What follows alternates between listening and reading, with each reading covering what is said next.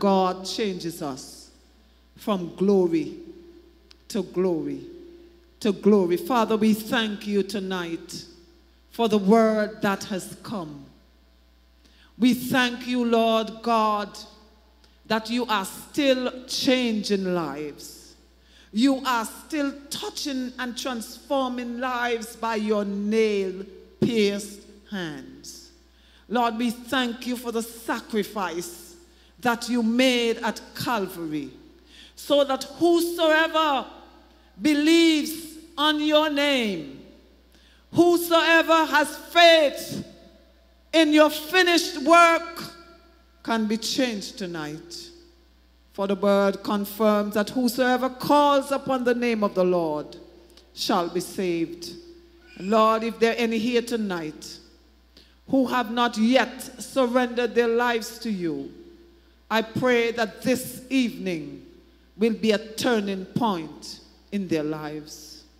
I pray for those who are carrying scars of the heart, pain and hurt and disappointments. Lord God, that they will give you a chance to change, to transform, to turn, Lord God, the pain into a testimony.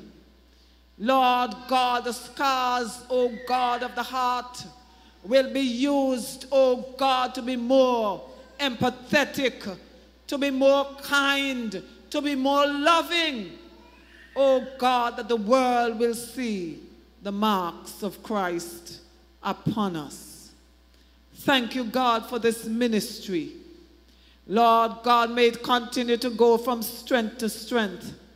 We pray tonight for Pastor Matthew, Lord God, as he ministers in another part of your vineyard.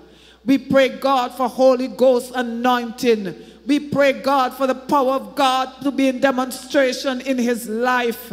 And Lord God, that as he ministers the gospel, that many souls will come to know you as Lord and Savior. Believers will be strengthened, will be edified, and Lord, focus on running with patience the race that is set before them. Continue to bless us all here tonight, Lord. Take all the praise, take all the glory. In the mighty name of Jesus, I pray. Amen and amen.